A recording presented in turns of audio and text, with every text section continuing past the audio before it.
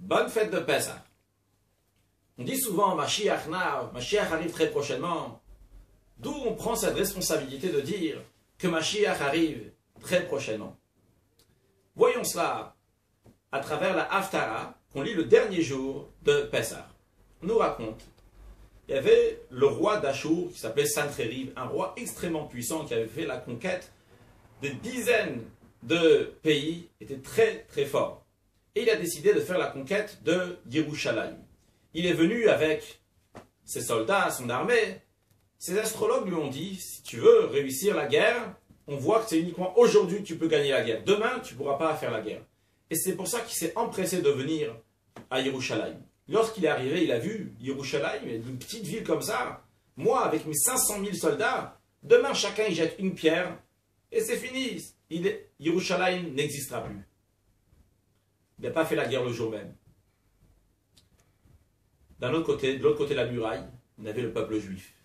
Le roi du peuple, Rizkia, le chef du Sanhedrin tribunal, Shevna, qui discutait qu'est-ce qu'on doit faire? Shevna, chef du tribunal, a dit il faut faire la paix avec Sancheriv. C'est un roi puissant, il faut faire la paix avec lui. Rizkia a écouté le prophète Ishaya. Le prophète a dit, au nom de Dieu, qu'il ne faut pas avoir peur de Sancheriv. Tout ira bien, tout va bien se passer.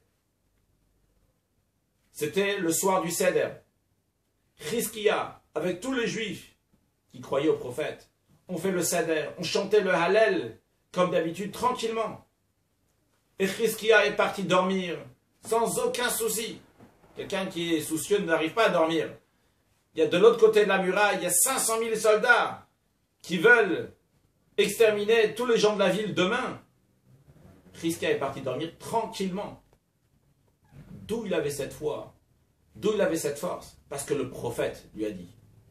Ce qui s'est passé, c'est que la nuit, il y a un ange qui a tué tous les soldats de Sancherib, sauf quelques-uns. Et le peuple juif a été délivré. Rizkia aurait pu dire, rationnellement, normalement, il veut faire la paix, c'est un roi qui est très puissant.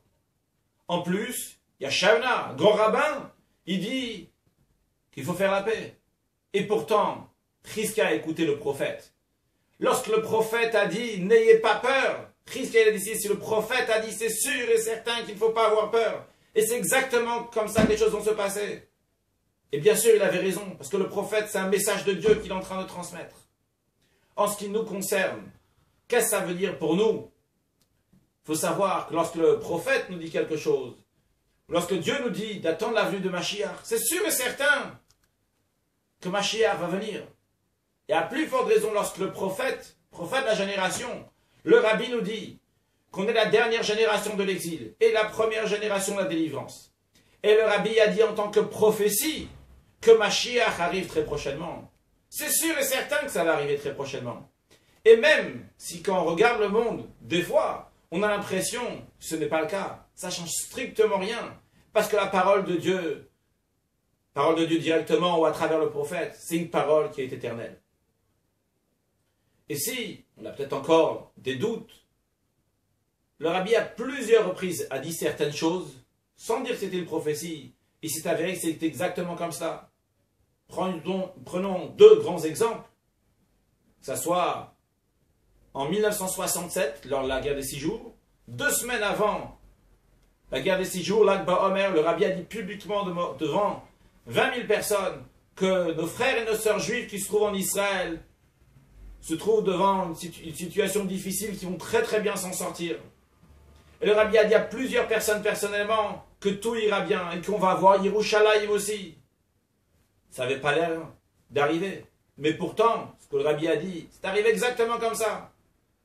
Ou bien en 1991, lors de la guerre du Golfe, lorsqu'encore une fois, personne ne savait quoi dire, qu'est-ce qui allait se passer. Le rabbi a dit à plusieurs reprises et publiquement, et ça a été imprimé, écrit de partout, que le peuple juif qui se trouve en Eretz Israël, en terre d'Israël, Dieu les protège. Et lorsqu'il y a eu un scud, deux scuds, 39 scuds, et pourtant, Il n'y a aucun mort. Après tout ça, c'est un grand miracle. Et ceux qui ont encore un doute, lorsqu'il y a un scud qui est tombé en Arabie Saoudite sur un camp américain, il y a eu 92 morts et 100 centaines de blessés. Lorsque le rabbi dit quelque chose, c'est sûr et certain que ça va arriver. Et le rabbi a dit en tant que prophétie que ma chère arrive très prochainement, c'est sûr et certain que ça arrive. Ce qu'il faut faire, c'est se préparer à sa venue. Comment? Bien sûr, en faisant toute la Torah, les mitzvot, chacun rajoutant un acte de bonté, de charité, de bonnes actions, étape par étape. Mais le dernier jour de Pessah, le Baal Shem Tov, fondateur de la Chassidoute, a instauré une Seudat Mashiach, un repas de Mashiach. On prend de la matzah, troisième repas, l'après-midi du dernier jour, et le rabbi a rajouté à cela qu'on prend quatre coupes de vin pour le boire d'affilée, il n'y a pas besoin que ça soit accoudé non plus. Le dernier jour de Pessah, c'est très important de le faire, dans chaque communauté, ou chez soi à la maison, le dernier jour de Pessah. Des fois, on regarde autour de nous, et on se dit, mais je suis tout seul à faire ça.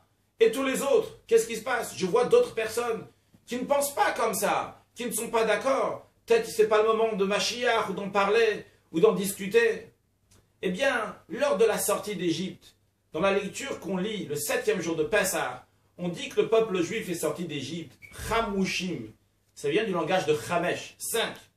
Nos sages disent, il n'y a que un cinquième qui voulait sortir d'Égypte.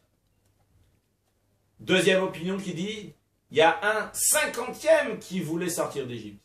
Et une troisième opinion qui dit un cinq centième qui a voulu sortir d'Égypte. Et les autres sont morts pendant la plaie de l'obscurité des ténèbres. Et une quatrième explication, Hamushim, ça veut dire qu'ils sont sortis armés. Le rabbi demande pourquoi on discute tellement du mal des juifs qui étaient en Égypte? Un il dit un cinquième, non, un cinquantième, il dit encore plus, un cinq centième.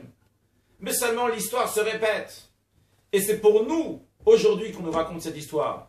Un juif, un simple juif, il attend la vue de Mashiach, mais il regarde autour de lui, il voit 499 juifs qui ne veulent pas ou ils ne sont pas intéressés.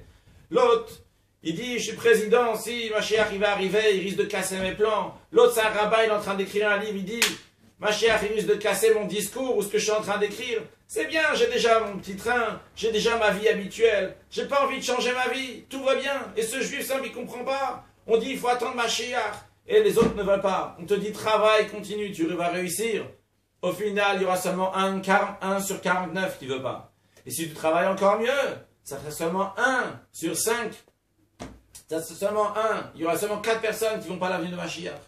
Et si tu travailles encore mieux, ça va devenir comme l'autre, la quatrième explication que Hamushim, qu'on va sortir de cet exil armé, armé de Torah, armé de mitzvot.